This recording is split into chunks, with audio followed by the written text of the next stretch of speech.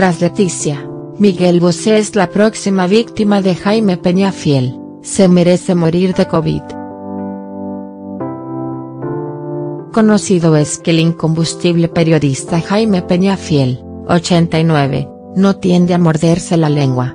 Sus críticas a la reina Leticia desde que se anunciara su compromiso con el entonces príncipe de Asturias han sido una constante en el nonagenario comunicador.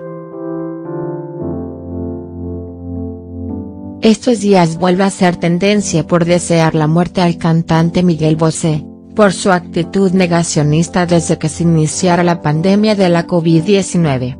Merecería morirse de COVID por el daño que está haciendo, dijo.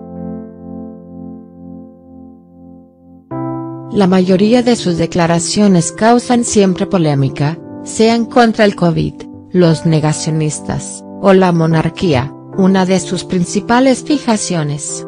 Así, en su momento, no dudó en tachar al rey Felipe V de mal hijo. Echó a su padre y Leticia fue la instigadora. Esta fue la conclusión del periodista al exilio de don Juan Carlos en Abu Dhabi. Él, que siempre ha apoyado el regreso del emérito, no ha dudado en criticar la decisión del actual rey. Un hijo no puede echar a su hijo de casa y del país, apuntaba entonces indignado, asegurando que si el emérito no ha podido volver a nuestro país después de 16 meses es porque don Felipe ha asegurado que no es el momento. Él puede volver cuando le salga de los collones, señalaba hace tan solo un mes. Especializado en la Casa Real, sus dardos suelen ir dirigidos a su objetivo favorito, doña Leticia. Así, en noviembre pasado denunciaba el ninguneo a la reina Sofía en los premios Princesa de Asturias. Sobre la madre del rey, Peñafiel reflexionaba que quizá cree que cumple con sus deberes pero no con sus obligaciones que ya no tiene.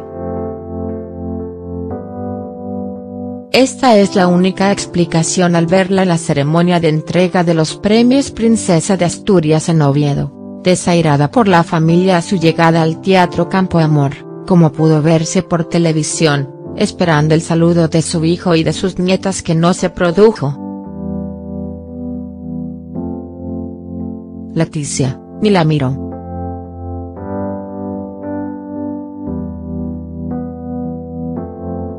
Para reforzar su teoría, es frecuente que Peñafiel se diriga a la reina Leticia como la nieta del taxista en tono evidentemente despectivo pero hacia la actitud de la reina Sofía también es crítico y considera que su actitud con respecto a su nuera es masoquista, tienen una relación inexistente y ella no quiere darse por enterada, denunciaba en la revista Lecturas.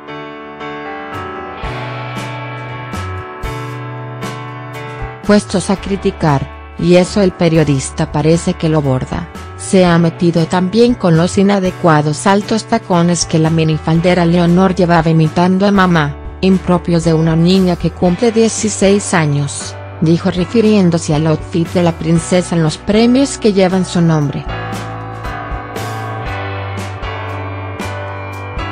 Y en ese punto incluso lanzaba un mensaje de advertencia y aviso a los reyes Felipe y Leticia al hilo de la polémica que se organizó por la fiesta que era en el Louvre Atlántico y en el que estudia la princesa, yo que sus padres me preocuparía después de que se haya conocido las desmadradas y locas fiestas en el Colegio Gales de Leonor, organizadas por la princesa Alexia de Holanda compañera de colegio de la heredera española y que ha desatado una gran polémica con las fotografías de las colegialas en bragas y sostén unas, otras sin él y con pezoneras y los chicos en tanga, bailando en la semana dedicada a la comunidad LGBTI.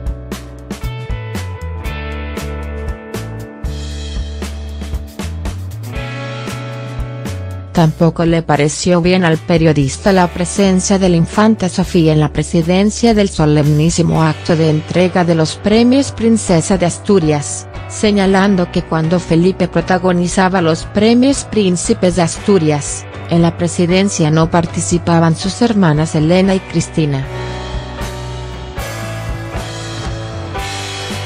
Susi que hubiera estado acompañando a su abuela paterna, no a la materna, Ojo Urse, la reina Sofía en el palco del Teatro Campo Amor. ¿Un fallo del protocolo? ¿O, una imposición de Leticia? Se preguntaba lanzando una nueva pullita a la reina Leticia principal objeto de sus críticas a la Casa Real.